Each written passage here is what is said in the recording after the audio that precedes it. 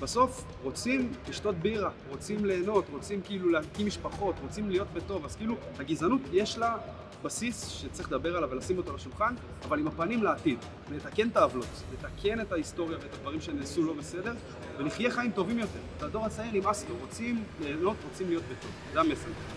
סוף סוף יש פה שנייה אחת של שקט, חברים.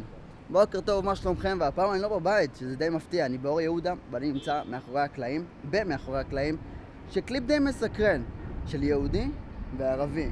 השיר עצמו בא לבוא לידי ביטוי ולהגיד לנו עד כמה אנחנו חיים במדינה גזענית ועד כמה אנחנו גזענים כלפי עצמנו וכלפי הסביבה עצמה שבה אנחנו חיים. ומי יהיה יותר טוב להסביר לכם על השיר ועל הקליפ עצמו, אם לא האומנים עצמם? אז, אז מה אני עושה פה? בואו ניגש אליהם. אנחנו פה מצלמים קליפ שהוא פרויקט חברתי. בסדר? אני ישבתי בבית לפני שלוש שנים, ראיתי שיר של ראפר אמריקאי, ג'וינר לוקאס, שמדבר על גזענות בין שחורים ללבנים בארצות הברית. זה נגע לי מאוד ברמה האישית. ולקחתי על עצמי איזשהו פרויקט, אתה יודע, בתור סתם בחור צעיר עם אמירה חברתית, לדבר על הגזענות בין יהודים לערבים בישראל. לא ידעתי איך אני אעשה את זה, זאת אומרת, התחלתי לכתוב מילים, ראיתי שאני לא יודע שום דבר, והתחלתי להסתובב בארץ, הייתי בכל הארץ, הייתי בבאקה אל-גרבייה ואום אל-פחם ונצרת וחיפה וירושלים ורהט, ופגשתי חבר'ה שבחיים לא הייתי פוגש, ואמרתי להם, תגידו, מה הדעות הכי קיצוניות שאתם יכולים להבין? אספתי את כל זה לרשימה של דפים, והתחלתי לכתוב טקסט, ב, טקסט צד ערבי וטקסט צד יהודי, על בסיס מה שאספתי. ואחרי שהקלטתי מפיק, והיו לי כל מיני וריאציות של השיר הזה, הבנתי שבלי שאני מכניס לזה שותף ערבי, שמביא את הפרספקטיבה הערבית האותנטית, הפרויקט הזה לא יהיה שווה כלום. ואז לפני שנה פגשתי את סאז, תוך שנייה נדלקתי עליו. הבן אדם מדבר עברית יותר טוב ממני, בן אדם רהוט ויש לו אג'נדה מאוד מאוד ברורה ומגובשת. ואחרי קצת משחקים ותהליכים התחלנו לכתוב את הטקסט מחדש, הכנסנו ערבית, הכנסנו הרבה וייב סמך, הרבה הרבה שלו, ובנינו איזשהו פרויקט שאתה יודע, גם בשיתוף של ודים בתוך הסיפור הזה, שעשינו את ההפקה המוזיקלית, זה כאילו נטו אותנטיות. שלומי, אני מדבר עכשיו מהלב, כן? חשוב מאוד שלא יהיה התייפייפות מסביב. מלא גזענות, מלא חרא, כשהמסר בסוף זה שאנחנו רוצים שיהיה פה עתיד טוב יותר. וזה כל הפרויקט הזה בעצם. הוא הפתיע אותי כי הוא בא לי בזמן מאוד שהנושא הזה של יהודים ערבים בכלל, להיות במדינה הזאת זה תמיד יש אקשן, תמיד יש, תמיד השטח בוער. ואני כן מאמין שכדי לפתור לפעמים סכסוכים ובעיות, קודם כל צריך לדבר. קודם כל לדבר. ודבר שני זה להקשיב. והוא הגיע לי בתקופה ממש שרציתי לעשות משהו חברתי, לא רק כל הקטע של parties, having fun, שזה מצוין, זה כיף, אבל לפעמים גם צריך לקחת את החיים קצת יותר ברצינות. והנושא הזה תמיד, תמיד ישב לי בלב. ואני גם מגיע מרמלה שהיא עיר מעורבת, של ערבים יהודים ביחד, של עיר שהיא, אה, כמה שהיא יכולה להיות תוססת, היא גם יכולה להיות מאוד שחורה, או מאוד מאוד נקרא לזה אה, אפלולית, של, זה תמיד שם. הפיל תמיד נמצא בחדר אבל לא מדברים עליו.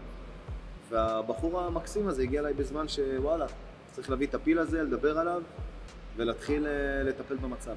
תשמע, אצלו, אצלו בקטע יש שורה של, אה, זאת אומרת, מבחינתי הפיק, כן? זה עברתם את השואה אז אתם חושבים שהכל מותר, כן? קצת רצח עם בעזה.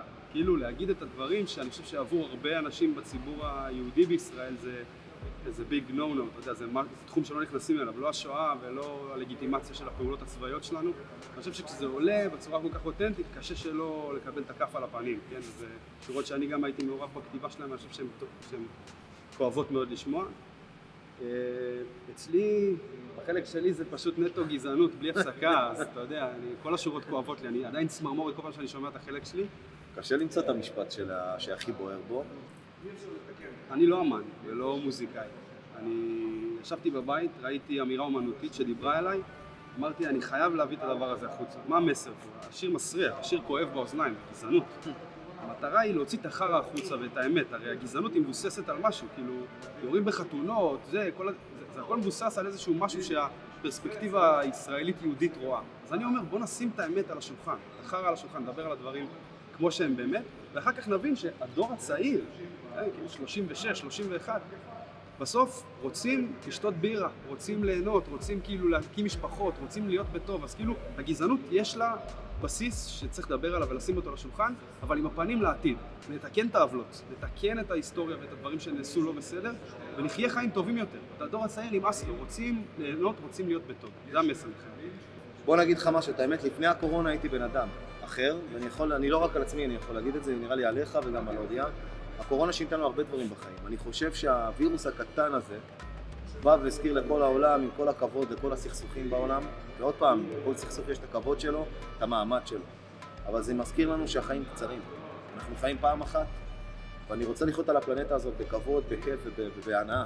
ואני רוצה שהילד שלי לא יסבול מהדברים שאני סבלתי. ואני מבחינתי רוצה שגם יהודים, גם ערבים, יפתחו באמת את העיניים ואת הלב, כי יבינו שאין אין לנו זמן, אין זמן. אם אנחנו לא נעשה שינוי עכשיו, מבחינה אנרגטית, אני מדבר על הדברים הקטנים, נתחיל קודם כל בדברים הקטנים. נתחיל לדבר עכשיו פוליטיקה ופוליטית, והסכמי שלום זה כבר לא בתחום שלי, אני עדיין אומן, שחקן, אני מייצג את עצמי, ואני לא יכול לדבר עכשיו, ב, כמו שאומרים, over my head. אבל אני חושב שאנחנו מגיע לנו לחיות יותר טוב, ללא הבדל דת, דת, גזע ומין, ואני חושב שהדור הצעיר רוצה שינוי, ואנחנו רוצים שינוי שגם, בתכלס גם נכבד את אחד את השני, ונבין ונקשיב אחד לשני את הכאב אחד של השני, ושבסופו של עניין אין לנו ארץ אחרת, אין לנו ארץ אחרת בסופו של עניין. בהפקה המוזיקלית אני חושב ששמעתי חצי שורה מהתקווה שדמיינתי. כן, ואני עשיתי אותה גם. אנחנו, באים להקלטות, אנחנו באים להקלטות, אני אומר להם, תקשיבו, נראה לי שיהיה מגניב אם נעשה סימפול של התקווה. אז אומר לי, זוז, זוז הצידה, זוז הצידה, אני יודע מה אני עושה. התחיל, אה, התחיל לדפוק לנו שם את המעוואלים שלו, וואו, זה הפיל אותנו, באמת. יפה ששמת לב. השיר הזה זה באמת שזמן מבורכת, במיוחד בתקופה הזאת שכל מה שקורה בירושלים. מה שסאז אמר זה באמת נכון. צריך לדבר ולהקשיב כדי לפתור בעיות, וגם חינוך, אבל גזענות לא תיעלם בעשור הקרוב, וגם לא בחמש שנים הקרובות, ובטח שלא בחודש-חודשיים. אני מקווה שהשיר הזה באמת ישנה משהו בתודעה, ואני רוצה לתת לכם ספוילרים ככל שלא שמעתם.